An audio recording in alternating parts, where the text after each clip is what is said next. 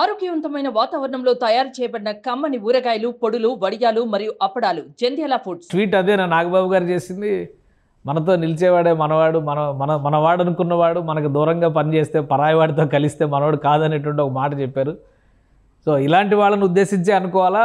అల్లు అర్జున్ రామ్ చరణ్ వీళ్ళందరూ రామ్ చరణ్ సురేఖ గారు అరవింద్ గారు వచ్చారు. కానీ అల్లు అర్జున్ అటు వెళ్ళాడు అనేటువంటి చర్చ నడుస్తుంది రాష్ట్ర వ్యాప్తంగా. సో ఈ రెండింటిని పోలిక పెట్టడానికి అవకాశం ఉందా? పిఠాపురాన్ని ఇన్సిడెంట్స్ని బేరీజ్ వేసుకొని చూస్తే? ఏంటండి?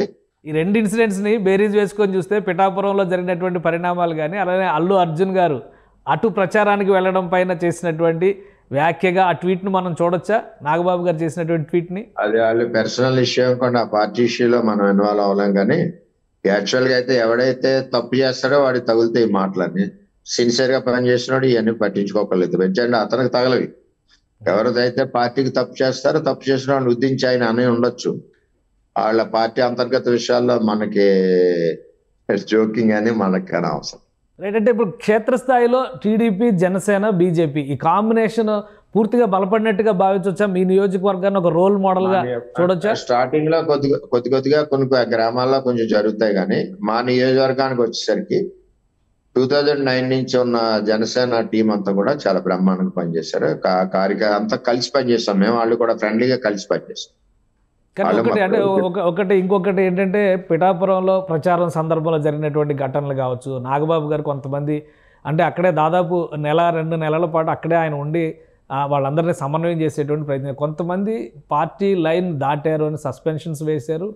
అలానే గత ఎన్నికల్లో అభ్యర్థిగా జనసేన నుంచి బరిలో దిగినటువంటి నాయకులు వీళ్ళందరూ కూడా అటు వైసీపీలో చేరిపోయినటువంటి పరిస్థితిని చూసాం ఇది ఎక్కడ లోటు అనిపించలేదా మీకు? ఎగ్జాంపుల్ నేనే ఉన్నానండి. నాకు అవకాశం లేదని నేను పార్టీని వదిలేసిపోతే నా క్యారెక్టర్ ఏంటండి?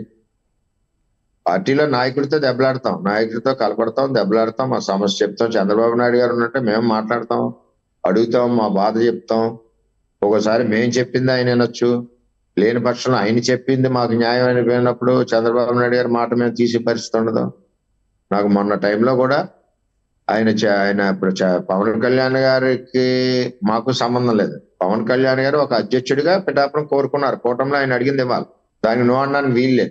మాకేంటంటే ఇన్ని సంవత్సరాలు నేను ట్వంటీ ఇయర్స్ నుంచి ఉన్నాం కదా మాకు ఇన్ అడ్వాన్స్గా ఎందుకు చెప్పలేదు? అన్నది. చెప్పలేదంటే చంద్రబాబు నాయుడు గారికి కూడా తెలియదు సడన్గా ఆయన అడుగుతారు. ఇందులో పార్టీ తప్పు కూడా లేదు. ఆయన కూడా చెప్పారు ఈ విధంగా వెళ్ళాలి మనం దానివల్ల పార్టీ భవిష్యత్తు అంతా కూడా చెప్పారు. దాంతో మనం ఆయన యాక్సెప్ట్ చేసి మరుసటి రోజు నుంచే మేము పనిచేసాం తర్వాత అది మా మైండ్లో లేదు. ఆ విధంగా పని చేసుకుంటూ వెళ్ళాం.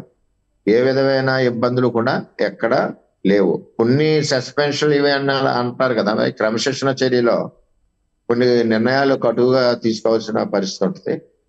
అంతేగాని ఎలక్షన్ టైంలో ఎన్ని ఇబ్బందులు ఉన్నా ప్రతి ఒక్కడు పార్టీకి పనిచేయవలసింది ఆ టైంలో నువ్వు సహకరించిన వ్యక్తి ఆడు పార్టీ మనిషి కాదు నా దృష్టిలో అయితే.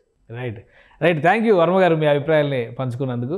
సుమన్ టీవీలో మీ పర్సనల్ అండ్ బిజినెస్ ప్రమోషన్స్ కోసం కింది నెంబర్కి కాంటాక్ట్ చేయండి.